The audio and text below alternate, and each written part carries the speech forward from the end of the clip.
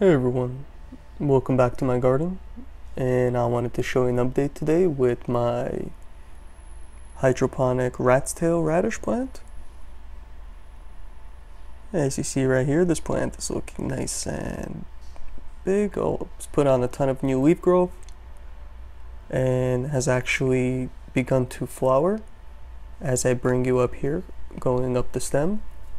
Look at this right up top here the last video we recorded, I actually, we seen something similar to this, a little bit smaller, and I was actually excited about what's to come, and I was correct, it was actually something new. Let me actually zoom you in, show you what one of these flowers look like.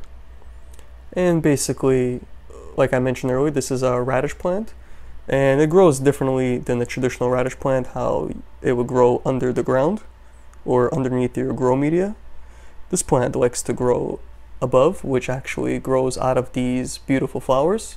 So after these flowers um, actually begin to wilt away, it's going to leave basically the small little green seed pod right behind it. And it's an edible seed pod and it tastes supposed to be quite spicy and supposed to be really delicious. And if you eat it when it gets nice and big, it's going to be nice and spicy, and if you eat it nice young, it has a little lighter taste. So we'll try both and see what I, will tell you exactly what I prefer and what it tastes like. And these flowers actually nice, beautiful yellowish purple white petals, and smells. The smells resembles a lilac, I think, or at least to me, it smells like lilacs, and it smells really nice, I think and thankfully I have a ton of little flowers forming right above here so I'm gonna have a bunch of seed pods. And I know this plant likes to grow prolifically so hopefully after this these pods grow I'm gonna have a bunch more that are growing. And I'll show you what they look like after they begin to grow. And we'll record the progress going each way. But if we go down the plant right over here basically towards the base of the plant these initial leaves right here, you see they're beginning to wilt away. These were the first two leaves basically. And they're starting to yellow, to turn yellow and brown and starting to die off. But uh, all the other leaf growth looks pretty healthy and nice and green. I noticed on some of the leaves, however, you begin to see these tiny little dark black spots. And I think that that's supposed to be a sign of either nutrient burn or possibly another deficiency. So what I'm going to do is actually two things. We're going to be changing out the reservoir here. If I lift this up, this is actually feeling nice and light, so I know the nutrients are about to run out.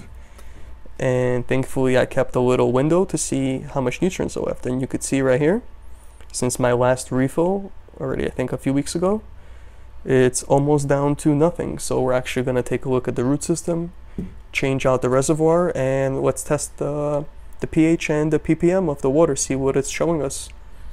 So what I like to do, the easiest method that I find to change the nutrients, or the reservoir I should say, is just give yourself another container. This way you fill it up and transplant that right in there. So let's fill that up. I have my nutrients already pre-mixed right here. I'm using basically a mixture of Master Blend 3 grams, calcium nitrate 3 grams, and Epsom salt. I'm using uh, 2 grams.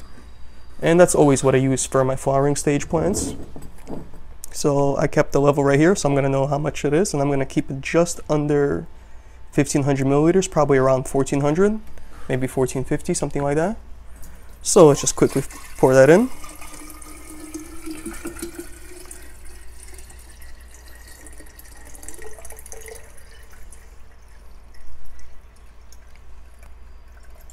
And there we have it just under 1500 so maybe around 1450 and let's see what the root system looks like.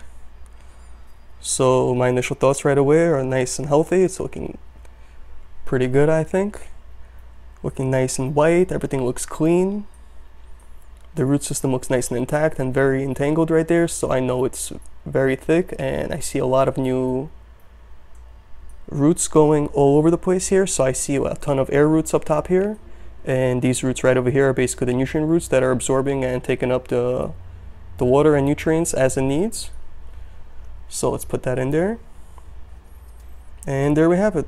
Our reservoir has changed. We got nice quick 30 seconds would it take change out the water and give this thing a new home. And I know basically from all my testing, the P, the pH should be roughly around between 6.0 and 6.5, which is perfect for this radish plant. And the ppm is going to be around probably 12, 1300. So that should be pretty good, I think, for this plant, being that it's a pretty heavy producer. Now let's actually test the nutrients since I can't dip my measuring in there. So let's actually pour that in this little cup right here and see what we have. So first thing I like to do is actually see what it looks like. You see actually some of the coco coir residue or maybe the clay pebble residue right here at the bottom. So some of it fell down. It's not, it doesn't look too clear, but actually the water looks pretty clear uh, for the most part. Minus the residue that's there. It's looking nice and clear, so I know the master blend mixture looks nice and yellow, as you see here. And this water here looks nice and clear, so I know this plant actually took up most of the nutrients that was in there. So I don't expect there to be a high number when I test this using my TDS meter. And this will test your ppm in your nutrients and in the water that you, you're putting it in. And all you gotta do is just basically submerge it up to here. As you see, it has a little meters right over there. Two prongs basically that stick out that test the water. So let's see what it's showing. And yeah, exactly what I said. This basic this thing has only 49 parts per million, 50 parts per million, which is basically nothing. When you that could be just the plain water by itself, which is most likely the case, and has to do with why this plant is beginning to yellow a tiny bit in the very lower leaves. And I know it's a nutrient deficiency because the rest of the leaves look nice and healthy going above the canopy here. And it's only starting from the bottom, and that's a good way to see what's going on. If it's all over the place, you know, it might be like a fungus infection or something else. But if it's starting from the bottom, it's most likely a nutrient issue. And let's see what the pH is going to be.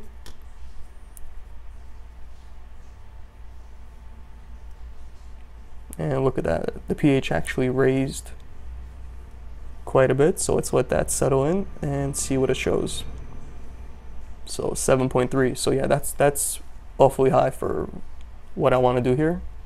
And this plant is probably going to have some nutrient lock if if that's the case, and it won't be able to uptake any of the nutrients. It would just basically start intertwining on itself, the, the root system, and it won't be able to take up anything that it needs. So now that this thing has its new home, I'm going to put, put it back in my greenhouse, or my grow tent right over here, and keep the progress going. So I'm really happy with its current growth, and I'll show you what the seed pods look like once they begin to grow. And as always, if you have any questions, don't forget to hit the thumbs up and subscribe. Look at this beautiful little purple flower about to bloom. Thanks for watching.